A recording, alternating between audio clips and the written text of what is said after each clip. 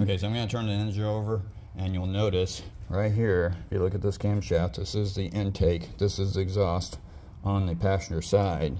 Watch as I turn this, you'll see the chain moving, you'll see the um, exhaust cam rotate, and you won't see the intake rotate at all. Or not, at least for a little bit. All right, I'm going to go ahead and start turning.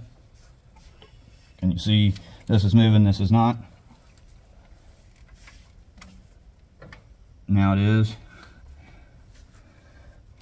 Let's go back the other way.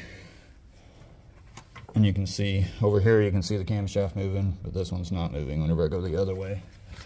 So just back and forth. Okay, right there it started catching. Now I'm gonna go back the other way. Um, move it clockwise.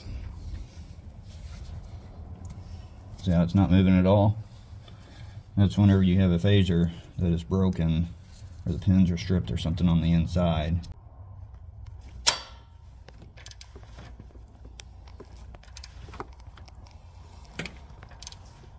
So as the engine's turning over and the camshaft disconnects comes up to wherever the pin's not holding it, you can see the cam, the intake cam pop.